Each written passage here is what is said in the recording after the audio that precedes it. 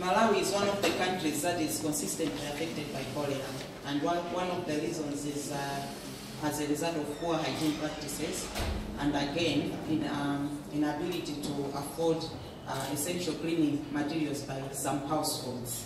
So Wijays Enterprises comes in by producing uh, detergents and the uh, soaps made from locally uh, sourced herbal uh, raw materials and our products are locally available and they are affordable and we are also packaging to meet uh, every uh, household's needs regardless of their level of income.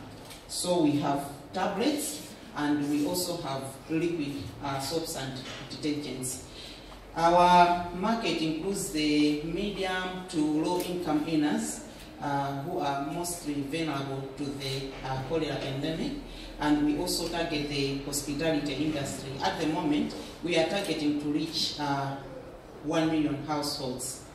So uh, we, there is competition on the market, but our products are unique in that we are using more of the cable raw materials and less uh, chemicals, and we are also producing right in the community, and so we, we provide employment to the local people, and we also economically empower farmers because uh, that's the ones we are working with. Uh, that's our business model.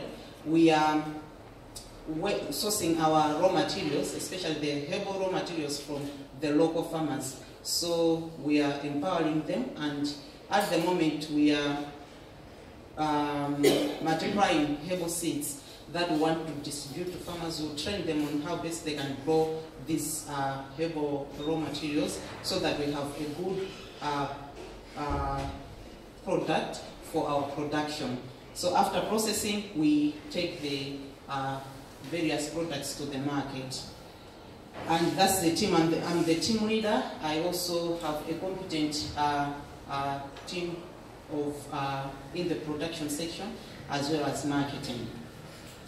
Uh, in 2017, we made uh, sales of 5.3 uh, thousand dollars, and we expect to make an, a profit of twelve thousand dollars this year.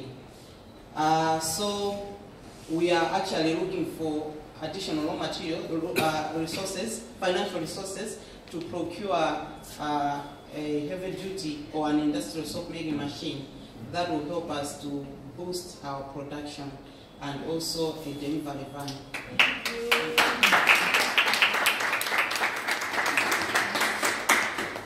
Thank you very much.